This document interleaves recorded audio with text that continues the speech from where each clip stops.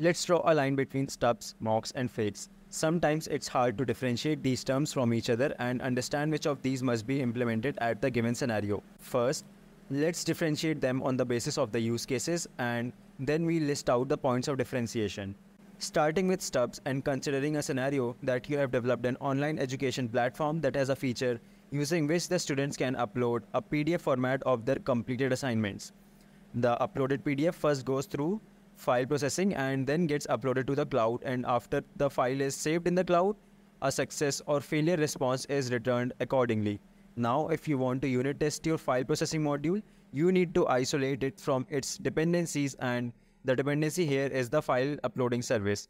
So to temporarily eliminate the dependency, we take the help of a stub which on getting called returns a pre-programmed and hard-coded value that helps you to test your file processing module in isolation.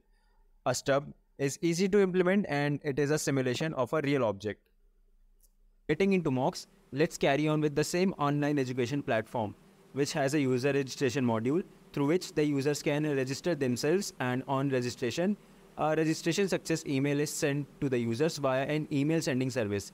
Now say you want to test that upon the registration of a new user, the user registration module calls the email sending service in the correct manner and passes on the correct parameters using which a valid email is sent and also record and compare the number of times these modules interacted with each other according to the test cases executed. So, in this case, that is to verify the interaction between the application and services, mocks are used. Sometimes, it might be hard to implement a mock.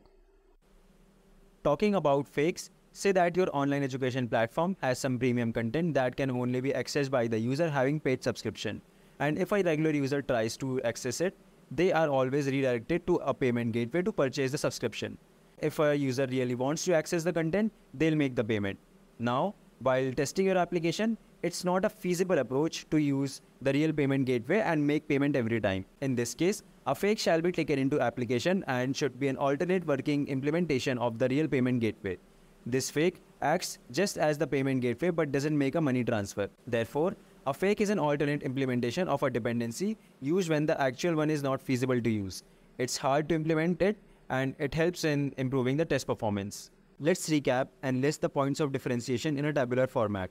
Stubs are used to isolate actual code from dependencies while testing, whereas a mock verifies interaction between the application and services used in it. And fakes are an alternate implementation of a dependency used when the actual code is impractical to use. Stubs are easy to implement, while it might be hard to implement mocks, and generally fakes are hard to implement.